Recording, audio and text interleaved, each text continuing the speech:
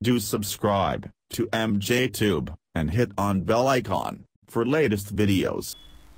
Hey guys, welcome back again. In this video, I'll show you how to find out day name from Excel dates. It's very easy, very simple.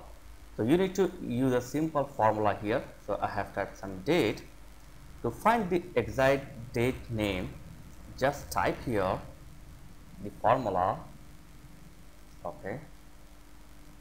Type the is equal to, then text, open the bracket, select your date, comma, add the comma like this, quotation, and type D, you need to type D three times okay three times type D close the inverted close the bracket enter boom we got the day name if you want to full name uh, it's uh, showing the short mon like monday so just for full name you need to insert one more d like four d's and hit enter that's it it will come full name now apply this to your all other days so this is the easiest way to find the day name from dates in Microsoft Excel. As you can see 6 120 18 is today's date. It's showing the exact date.